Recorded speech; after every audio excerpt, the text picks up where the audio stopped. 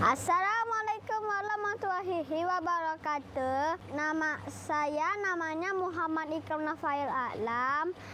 Saya ke tempat Om Andle dan saya mau